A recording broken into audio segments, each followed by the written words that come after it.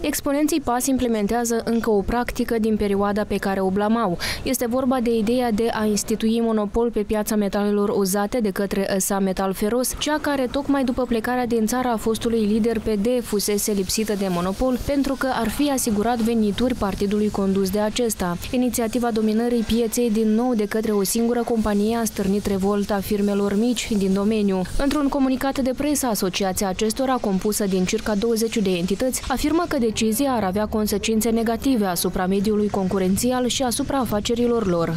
Inițiativa ar restricționa accesul echitabil la piață și ar crea un mediu de afaceri inegal pentru întreprinderile mici și mijlocii din sectorul metalelor uzate, se spune în comunicat. Tot acolo se menționează că o opoziție au exprimat și Consiliul Concurenței și Camera de Comerț și Industrie, care au subliniat importanța menținerii unui mediu concurențial sănătos și echitabil pentru toți jucătorii din industrie.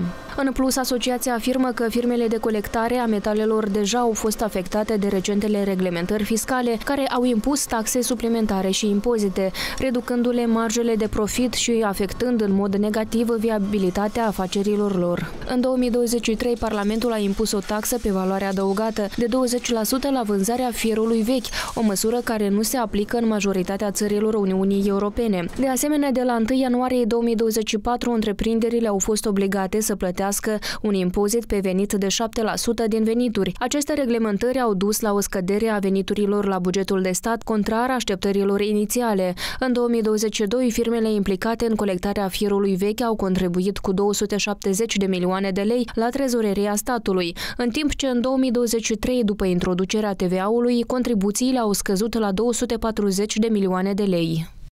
Asociația a mai adăugat că un eventual monopol în sectorul deșeurilor metalice ar aduce cu sine scheme de furturi, corupție, abuzuri de putere și eliminarea competiției.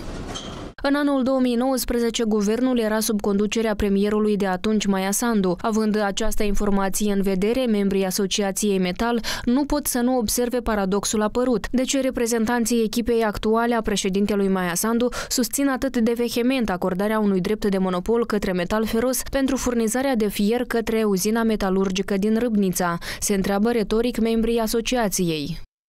Nedumerirea asociației se explică prin faptul că în 2019 întreprinderea de stat Metal Feros a fost lipsită de monopolul la comerțul și exportul de metale feroase și neferoase, anume de guvernul condus de Maia Sandu. Ministrul de atunci al economiei și infrastructurii, Vadim Brânzan, menționa că regulamentul fusese întocmit în așa fel încât licența să poată fi obținută doar de o singură companie, Metal Feros. El mai spunea că următorul pas trebuie să fie modificarea legislației Republicii în conformitate cu standardele Uniunii Europene, iar premierul de la acea vreme, Maia Sandu, spunea la rândul ei că de mult așteaptă această decizie și și-a exprimat speranța că odată cu aceasta va cădea încă un monopol în Moldova. În hotărârea de a lăsa metal feros fără monopol, exponenții PAS invocau faptul că întreprinderea era o sursă de finanțare pentru anumite partide și politicieni, în special Partidul Democrat. Acuzațiile au stat și la baza unei anchete penale, potrivit căreia prejudiciul cauzat din schemele ce ar fi funcționat la metal feros Feros era de peste 700 de milioane de lei.